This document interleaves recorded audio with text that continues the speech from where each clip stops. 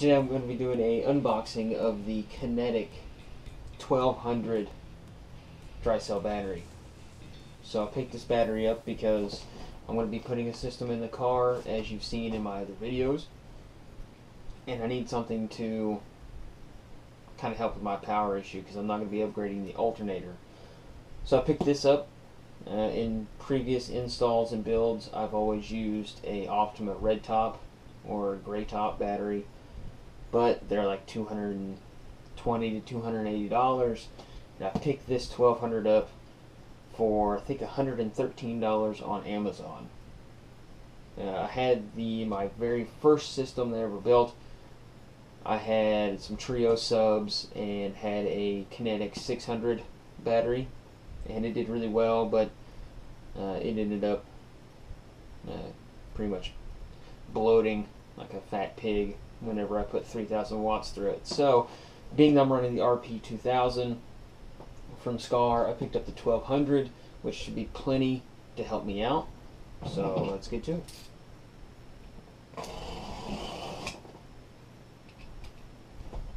And I also just want to say that when I got this in the mail, from FedEx. Uh, it came three day shipping, free, on Amazon with Prime.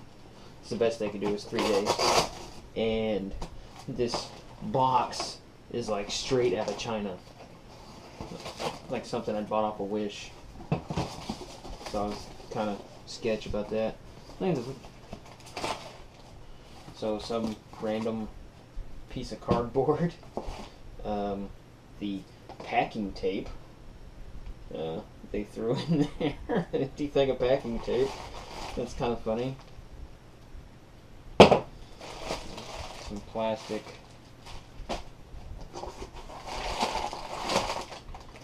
Some bubble wrap. Some more bubble wrap. So now we get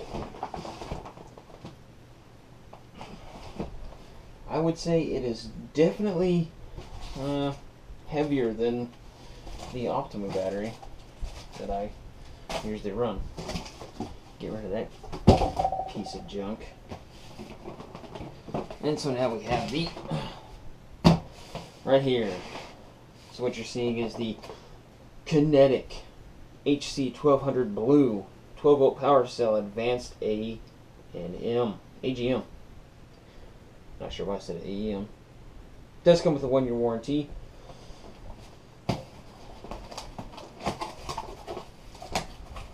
Oh look, it's another box inside of a box inside of a box. Love boxes inside of boxes inside of boxes.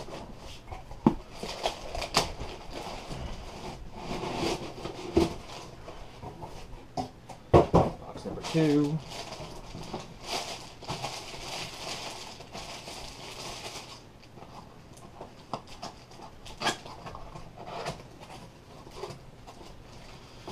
Oh, look at that. So here's our install guide. Ooh, and a sticker, which will never be used. Awesome. Some foam. So it does actually look like... So there's some hardware here, I'm guessing is the top mount, uh, top post battery set. I actually, where are they at? So I actually bought another top post battery set because this one did not say that it came with it. And being that I had never uh, bought one of the newer ones, I wasn't sure. But there's the bolts for the other one. And there's, looks like there's probably the uh, spacers or something in this one. I'll open it up and find out.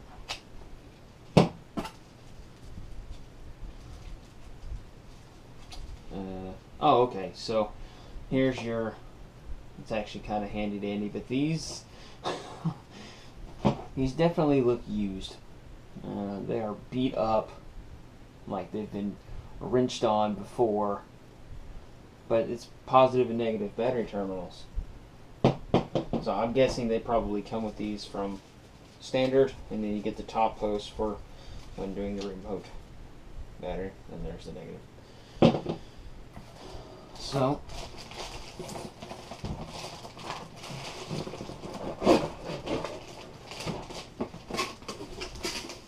you'll have to bear with me here Why? Open this up. Alright.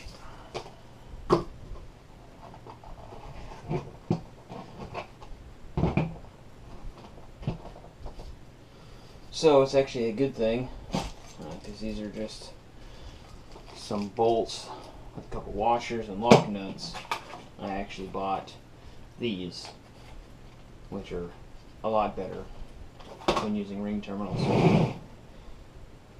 So, yeah, it's actually pretty small. Um, it's it, it's a lot smaller than what I'm used to with the Optimus, But it's not bad. Alright, I'm back. And so what I'm going to go ahead and do, I'm going to go ahead and put these on. And so yeah, if you're gonna if you're gonna pick one of these up and it doesn't specify, most likely on Amazon, that it doesn't come with the top post set, you're going to be using this with ring terminals. Uh, this is definitely something you're going to want to pick up. Is your top post mount set. These are put in with uh, Allen keys, which I don't have, so that's fine. Not worry about it right now.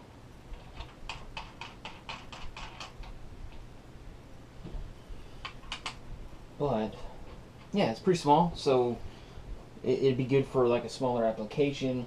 Like I said, it's nowhere near the size of an Optima. Uh, Optima batteries are a couple inches wider and in length as well. But also don't know how the quality is compared to an Optima battery either. And again, this is the 1200 watt. I'm going to be running 2000 through it, but it should be fine, being that it's not going to be on its own. I've also got a, a, uh, oh, a battery relay isolator that I'm going to be installing. I don't have that, it hasn't come in yet, but I'm not going to do a video on that. There's videos all over the internet on isolators, and uh, I can't even remember which one I, I picked up. I can't remember, so it doesn't matter. Anyway, yeah, so definitely want to pick up a top mo a top post. Uh, if not, you still got your old normal ones, which I've always used in the past. I think even on my 600 I had these, and they're all right. You just got to pick up some some different ones. It kind of sucks, but that's just how it is. I would much rather have these, especially if you're just doing ring terminals for a power and a ground. And you're, I'm using zero gauge, so these will fit perfectly. So, for some comparison to size here, I don't really have much. So for size comparison, the video just doesn't justice. There's my hand, but this is also, here's a uh, Funko pop vinyl. Shameless plug. No, I wish. Um, you kind of see the difference in the size. They're relatively the same height. They are pretty much the exact same width, so it's like six inches by like six and a half inches, I think, probably, or six by six, six and a quarter, and then you can see it there pretty well. So yeah, it's it's not bad. Um, there are some mounting straps here, uh, which you could use in pretty much any battery tie down, most likely. But that's pretty much it. This isn't a very entertaining unboxing, so it's just a battery. But could be somebody out there who wants to see it. But if you're looking at this again, uh, it's just going to come with your standard terminals, which I've already said like three times, but I'm just to beat it into your brain. And then, so you're going to want to pick up these Kinetik top, top post terminals, which I think they were like $8, I think. They're really cheap. They're worth the money. You may be able to pick up some cheaper. If not, it did come with these bolts with some washers on them, which you can use just fine. So I think that's pretty much going to conclude my review or unboxing, so I'll do review. I'll do a review on it once it's all in the car and set up. Try to get some videos out of me installing it. Uh, and doing all that so you guys can see if you want to you want to do it. However, you want to stay tuned. You want to keep up with it. Keep watching what I'm doing. If you like what I'm doing, if you, think I'm an idiot, leave it in the comments down below because I am an idiot. I'm new to this stuff. Uh, still getting weird talking to a camera to somebody who's not there. So, yeah, now I'm just rambling. Yeah, like, comment, subscribe if you want. Stay in touch. Do a bunch of weird things on this channel. Unboxings. May throw up some golf videos. Who knows? It's just going to be completely random at this point. And have a good day.